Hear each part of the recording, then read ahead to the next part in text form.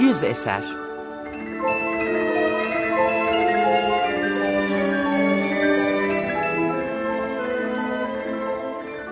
Gora Rabindranath Tagore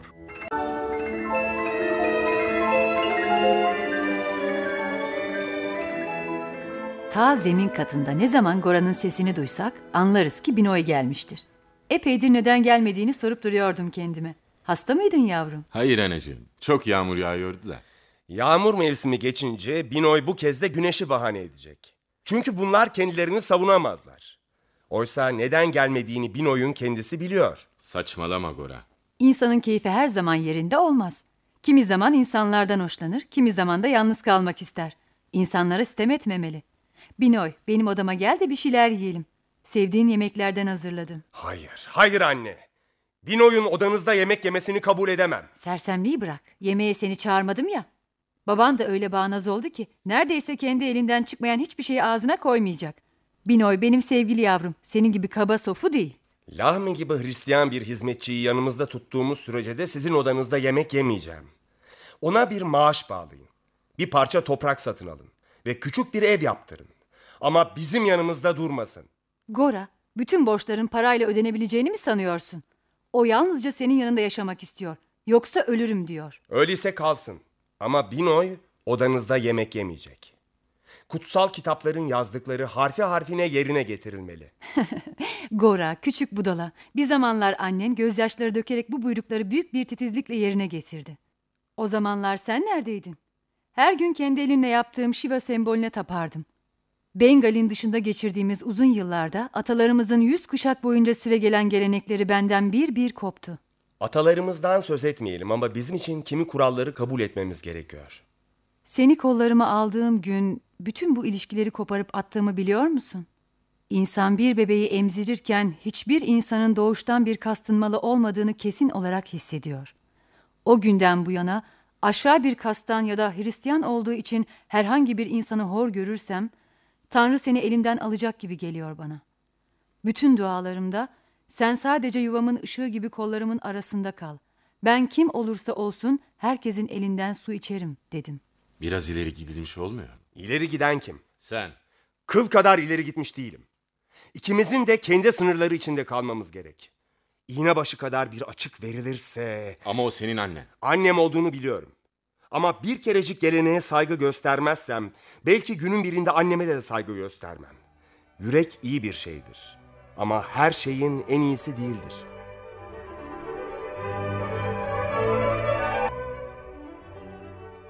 Merhaba sevgili dinleyiciler. Gora adlı romandan bir bölüm dinledik. Hint gerçeğini derin duygularla ve sürükleyici bir şekilde ele alan Gora, Aa, bir dakika. Öncelikle Rabindranath Tagore'u tanıyalım. Sonra Gora'nın hikayesine döneriz. elbette. Rabindranath Tagore, 6 Mayıs 1861'de Hindistan'ın başkenti Kalküta'da varlıklı bir din adamının 14. çocuğu olarak doğar. Özel öğretmenlerden ders alarak orta öğrenimini tamamladıktan sonra 17 yaşında hukuk tahsili için Londra'ya gönderilir. Burada edebiyat kültürünü de geliştiren Tagore, hukuk eğitimini yarıda bırakarak Hindistan'a döner. 1883'te evlendikten sonra ailesinin mülkiyetindekilerle ilgilenip kendini yazarlığa verir. 1880'li yılların ortasından sonra yazdığı çok sayıda şiir kitabı, öykü ve dramlarını birkaç gazetede yayımlar. Bunların bir bölümünü kendisi İngilizceye çevirir. Bu arada Hinduluk, Müslümanlık ve Hristiyanlığın ortaklaşa değerlerini bir çatı altında toplayan Brahmo Samaj adlı bir mezhebe katılır. Brahmo Samaj'ın belli başlı ülkeleri kardeşlik, ahlaklılık, insanseverlik, kadınlığın yükseltilmesi ve kastların kaldırılmasıdır. Eserlerinde ince bir lirizmle mistisizmi harmanlayan Tagore, Hindistan'ın İngiliz emperyalizminin boyunduruğundan kurtulması için büyük çabalar sarf etmiştir. 1901'de Kalküta yakınlarındaki çiftliğinde Huzurevi adını verdiği bir okul kurmuştur. Bu okul daha sonra Uluslararası Devlet Üniversitesi olarak kabul edilmiştir.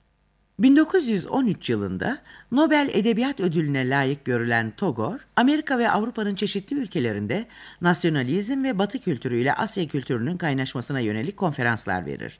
1915 yılında İngiltere Kralı tarafından Sir Asalet ünvanına değer bulunur. Ancak İngilizlerin 1919'da Amritsar'da yaptıkları katliama tepki olarak bu ünvanı 4 yıl sonra iade eder. 67 yaşında resme merak sarıp 2000'den fazla tablo yapan Tagore, eserlerinde Hindu toplumunun aşka ve duygulara düşman zorlayıcı unsurlarını inceler. Siyasal ve dinsel alanda toleransı savunur. Bütün insanların ruhlarının tek hakimi sensin adlı şarkısı 1950 yılında Hindistan'ın ulusal marşı haline getirilen Rabindranath Tagore 7 Ağustos 1941'de 80 yıl önce doğduğu kent olan Kalküta'da yaşamını yitirir. Gözünde kum, deniz kazası, sabah şarkısı, Gitanjali, Gora, Postane, yaşamdan anılar ve uygarlık buhranı eserlerinden bazılarıdır.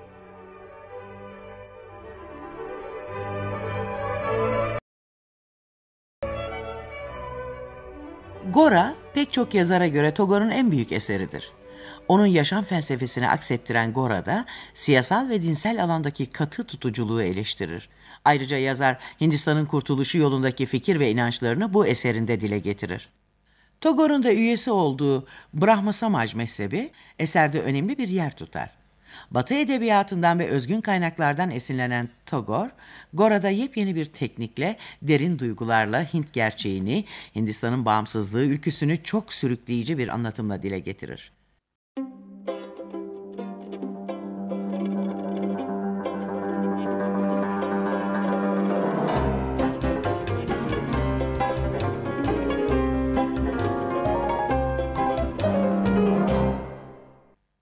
Binoy ve Gora aralarında ufak tefek görüş farklılıkları olmasına rağmen birbirlerini çok seven iki arkadaştır. Gora'nın annesi Ananda Moyi, Binoy'un da manevi annesidir. O, Gora ve Binoy arasında dini inançlar üzerine yaşanan tartışmalardan dolayı çok üzülmektedir. Ananda Moyi, Hindu inançlarının pek çoğuna inanmamakta ve bunlardan dolayı iki iyi arkadaşın aralarının açılmasına bir anlam verememektedir. Yağmurlu bir Kalküta sabahında Binoy dışarısını seyrederken evinin önünde bir kaza olur. İki katlı bir faytonla bir kira arabası çarpışır. Binoy yardım etmek için hemen yanlarına iner. Yaşlı bir adamla 17 yaşlarında bir genç kız vardır. Onları hemen evine götürür ve doktor çağırır. Yaşlı adam tedavi ettirilir ve ücreti Binoy öder. Binoy genç kızdan çok etkilenmiştir. Yaşlı adam ücreti daha sonra kendilerine göndereceklerini söyleyerek yanındaki kızla oradan ayrılır. Bir süre sonra Satish ismindeki bir çocuk doktorun ücretini getirir. Çocuktan yaşlı adamın Paresh Babu, genç kızınsa Susharita olduğunu öğrenir. Daha sonra onları ziyarete gider. Paresh Babu, Brahmo Samaj mezhebine gönül vermiş bir Hintlidir.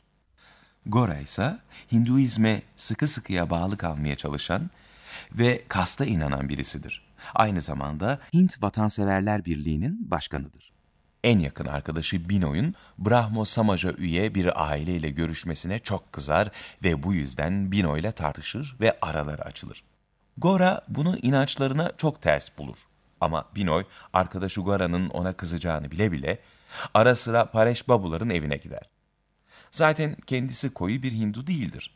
Orada erkeklerden kaçmayan Paresh Babu'nun genç kızlarıyla karşılaşır. Onlardan çok etkilenir. Özellikle Lolita'dan. Paresh Babu ve ailesi kas sistemine ve putlara inanmamaktadırlar. Mensup oldukları Brahmo Samaj, Hristiyanlığa daha yakındır. Gora'nın babası Krishna Daya koyu bir Hindudur. Kendisini tamamen dine vermiştir. Oğlunun Hindu dinine bu kadar girmesini istememektedir. Gora buna anlam veremez. Bu yüzden aralarında tartışmalar olur. Ananda Moyi, baba ile oğul arasındaki bu çatışmaya son vermek için uğraşır. Gora aslında İngilizlere karşı çıkmış bir isyan sırasında evlerine sığınan bir İngiliz kadınının oğludur. Anne ve babası ölünce Ananda Moyi onu büyütmüştür. Fakat Hindu dininde ve geleneğinde büyük bir suçtur. Krishna Dayal, oğlu Gora'nın eski bir arkadaşı olan Paresh Babu'yu ziyaret etmesini ister. Gora oraya gittiğinde Binoy'la karşılaşır. Binoy buna çok şaşırır. Oradakilerle yapılan sohbette Susharita, Çay alır mıydınız Binoy Babu? Evet, elbette. Çay içmek ister misiniz? Hayır. Neden? Kastınızdan uzaklaşmaktan mı korkuyorsunuz? Evet, Demek kasta inanıyorsunuz. kast benim tarafımdan kurulmuş değil ki. İnanmamak elimden gelsin. Topluma boyun eğmek zorunda olduğuma göre kasta da saygı göstermem gerek. Topluma körü körüne boyun eğmek zorunda mısınız? Topluma boyun eğmemek onun düzenini yıkmak olur. Ne zarar var ki bunda? Böyle olunca insanın bindiği dalı kesmesinde ne zarar var ki diye de sorabilirsiniz. Pareş Babu'nun evine gittiğini yatsımana ne gerek vardı? Hiçbir gereksinme duymadım bunun için. Yatsımış da değilim. Çünkü o zaman evlerine gitmemiştim. İlk kez olarak dün ayak bastım o eve. Hmm, dikkatimi çeken şu oldu. Oraya girmeyi bildin ama çıkmayı becerebildiğinden kuşku duyuyorum.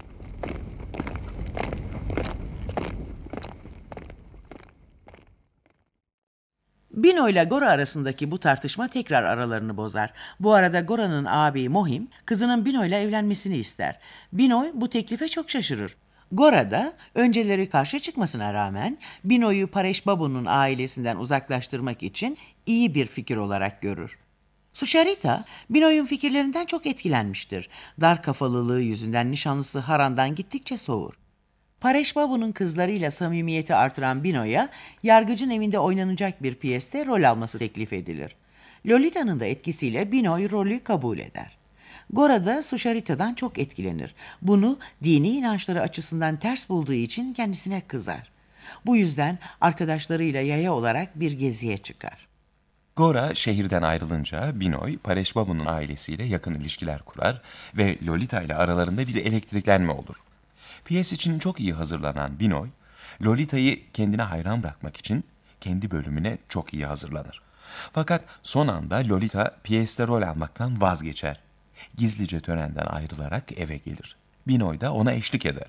Bu arada Gora yolculuğu esnasında halkın yoksulluğuna, vurdum duymazlığına ve uğradıkları haksızlıklara şahit olur. Bu haksızlıklardan birine müdahale edeyim derken başı derde girer ve yargıç Düştükleri sefalete bak. Bu insanlar bu açık tenli genç Brahman'ın onların sevinçleri ve kederleriyle ne diye ilgilendiğini anlayamıyorlardı. Çoğu kez benden kuşku duyduklarını sezdim. Bu köylüler aydın çevrelerden daha çok toplumsal zorlamaların baskısı altındalar. Herkes yürürlükteki kurallara sade bir biçimde inanıyor ve boyun eğiyor. Bunları tartışmak kimsenin aklına gelmiyor. Kaba ve korkunç bir sofulukla yasaları dinin temeli sayıyorlar. Geleneğin insanlara yakınlarının kanını emmek için alet olduğunu ve herkesi kurtuluşu olmayan bir sıkıntı içinde yaşattığını görmezlikten gelemezdi. Toplum düşküne yardım etmek şöyle dursun. Aksine onu büsbütün ezmek ve alçaltmaktan başka bir şey yapmıyor. Acıma, sevgi, yardımlaşma, fedakarlık ruhu ve insanlık saygısıyla herkese kuvvet, canlılık ve mutluluk veren dinden eser göremedim. Memlekette gezilerim sırasında Müslümanları birbirine bağlayan bir bağ bulunduğunu fark ettim. Köyün birinde bir afet meydana geldiği zaman Müslümanların birbirine destek olduğunu gördüm. Oysa kendileri böyle bir şeyi akıllarından geçirmiyorlar. Birlikte yaşayan iki toplum arasında bu derin farklılığın neden ileri geldiğini düşündüm. Müslümanların göreneklerden çok dine bağlı oluşlarından galiba. En olanaksız gibi görünen yerlerde inancımı övünç duyarak haykırdım. Bunu düşmanlarıma bir zafer sancağı gibi uzattım. Her şeyden önce halka, vatan sevgisi aşılamanın gerekliliğini dilimden düşürmedim. Fakat şimdi bu köylerde ne beni dinleyenler ne savunulacak töreni terk etmesine çok kızar. Ayrıca eve Bino ile geri dönmesi toplumsal bir mesele haline gelir. Gazetelerde bu konuyla ilgili yazılar çıkar. Bütün bu olanlara karşı Lolita ve Binoy evlenmeye karar verir. Bu o dönem Hindistan'ında kabul edilemez bir durumdur. Binoy bir Hindu, Lolita ise bir Brahma Samaj mensubudur. Gora hapisten eve dönünce olup bitenleri öğrenir. Binoy'un yaptığından hiç hoşlanmaz. Fakat o da Susharita'ya karşı engel olamadığı hislere kapılır. Susharita da Gora'dan etkilenerek Hindu olmaya karar verir. Gora kendini Tanrı'ya adamak üzere Ganj Nehri kıyısına gitmeye hazırlanır. Fakat babası buna şiddetle karşı çıkar. Gora ile Susharita evlenebilecekler. Evet sevgili dinleyiciler, Lolita'nın neden töreni terk ettiğini, Gora'nın ailesiyle ilgili gerçeği nasıl öğrendiğini, Sucharita ile evlenip evlenemeyeceklerini merak ediyorsanız, Rabindranath Tagore'un Gora adlı romanını okumanızı tavsiye ederiz. Hoşçakalın.